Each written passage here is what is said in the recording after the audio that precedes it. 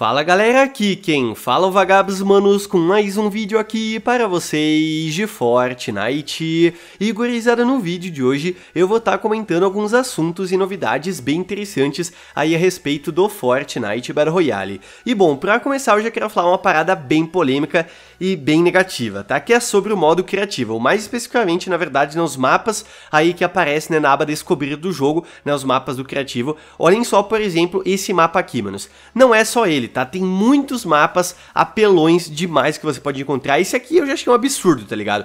Ele é apelão, tipo, demais ali, manos, porque o tema do mapa é Rússia e Ucrânia. Sim, manos. Ele até escreveu, tipo, de um jeito diferente ali o título, né? Pra talvez mudar um pouco os caracteres e não ser pego pelo algoritmo, não sei, né? Mas enfim, não é só esse mapa, logicamente, tem muitos outros mapas. Boa parte deles é mais apelão na imagem, certo? Que aparece, tipo, o pessoal, né, sexualizando skins e tudo mais, fazendo um negócio absurdo, né? E já faz um tempo tempo que isso vem acontecendo, né? Os criadores de mapas, né, o pessoal que leva mais a sério ali e tudo mais, reclama bastante, inclusive, né, isso aí com Epic Games, que tem muitos mapas, né, bem feitos pela comunidade, acho que a maior parte da galera, né, que cria mapas, tipo, não tem geralmente todos os seus mapas, né, sendo colocado ali em destaque e tudo mais.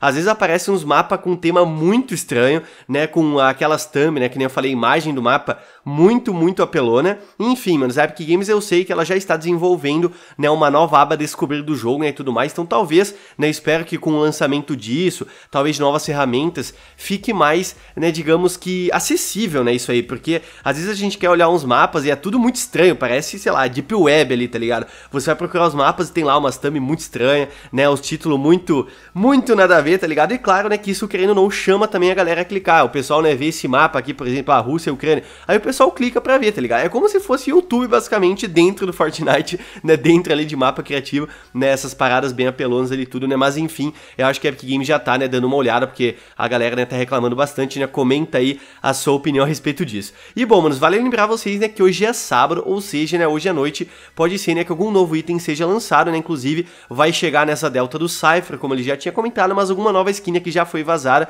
que estou mostrando aí para vocês, né? Pode ser lançada agora há pouco, mas enfim, né? Se você quiser comprar algum novo item, apoiando o canal. Eu ia ficar muito feliz de verdade mesmo se você utilizasse a tag Vagabito na opção de apoio um criador da loja de verdade mesmo. Ia estar tá dando uma força tremenda aqui pro canal. Eu agradecer de coração, tá? E olhem só, manos, outra parada interessante é sobre o FNCS. Pra quem não sabe, agora nesse final de semana vai estar acontecendo no FNCS Major 1. E se você né, acompanhar aí no canal oficial do Fortnite lá na Twitch ou no YouTube, você consegue né, um desses drops abaixo, beleza? Tem cinco recompensas aí, né? Você pode reivindicar elas assistindo em alguns minutos da live, não sei quanto tempo, mas, né, quando você logar, vai lá mostrar, acredito que seja, tipo, sei lá, meia hora, alguma coisa assim.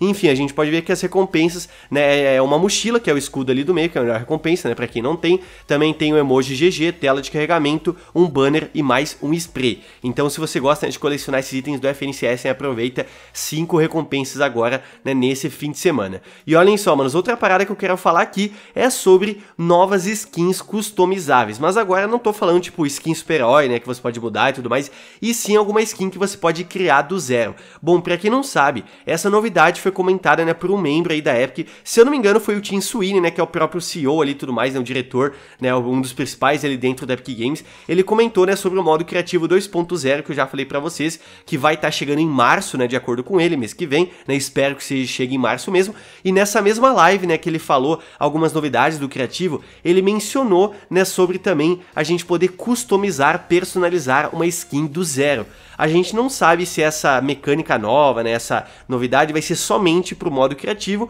ou se vai ser pro Battle Royale também. E olhem só que bacana essa concept feita pelo Monday Lion.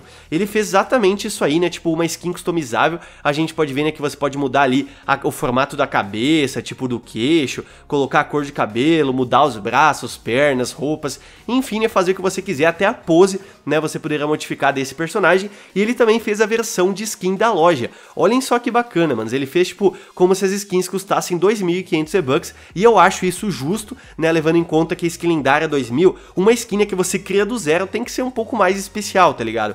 Então ali tem a versão masculina e a versão feminina, né, cada uma 2.500 V-Bucks, também tem mochila que você pode criar, né, 800 V-Bucks, picareta 1.500, asa delta 1.800 e envelopamento 500. Ali também tem embaixo né, um pacote para você comprar, né, todos os itens juntos com aquele desconto em V-Bucks. Sinceramente, manos, gostei muito dessa ideia ideia, eu fiquei bem empolgado com isso.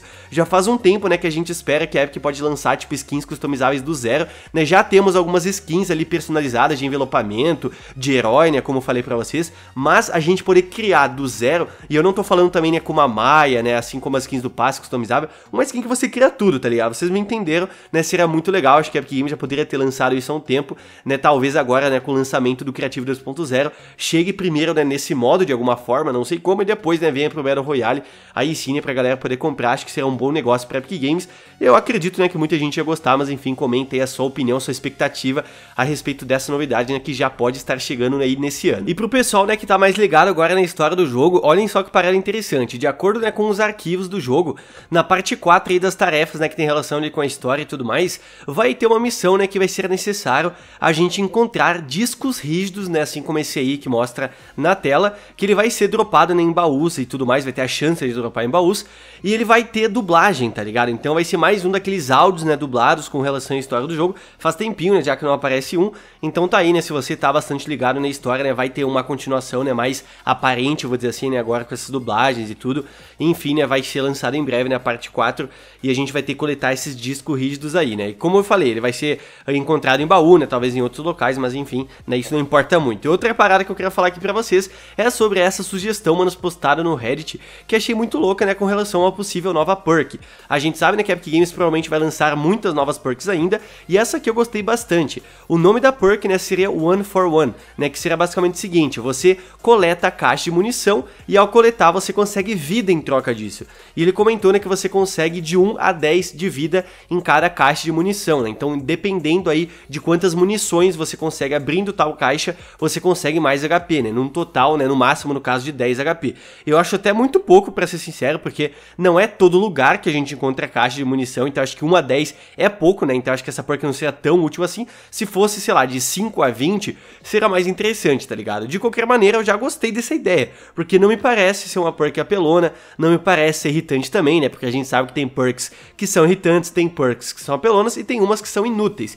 E essa aqui acho que ia ficar bem no meio, ia ficar bem equilibrada, acho que ia agradar muita gente, né, poderia salvar a galera que, sei lá, né, tipo, tá com pouca vida, vai se esconder numa casa, aí tem caixa de munição, né, já consegue aí uma vidinha em troca disso. Enfim, eu dei uma olhada no, nos comentários, a galera gostou bastante, né? Pode comentar o que você achou dessa ideia aqui também.